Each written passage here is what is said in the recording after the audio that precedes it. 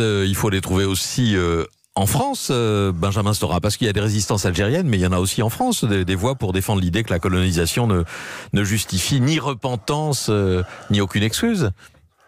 Tout à fait. Il y a aussi, vous savez, en France, comme en Algérie, des gens que je qualifie des gens qui vivent d'une rente mémorielle hmm. pour construire une politique, pour construire une clientèle politique et sociale. Et leur enlever cette rente mémorielle, dans le fond, c'est leur enlever euh, euh, quelque part une sorte d'identité politique particulière.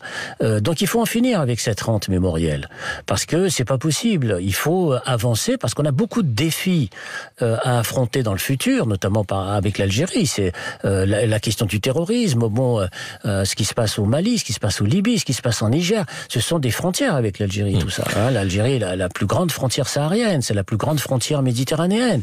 Euh, notamment, il y a, vous le savez, bien sûr, des, des accords, des discussions qui se font entre la France et l'Algérie sur les questions touchant à l'immigration, par exemple. Bien sûr. Et, donc, on ne peut pas euh, euh, continuer à avoir des relations, disons, avec un pays, tout en, en, en, faisant en sorte, disons, de ne pas aborder ces questions-là. C'est pas possible. Merci. C'est pas possible. Donc, il, hmm. donc, il faut avancer par conséquent.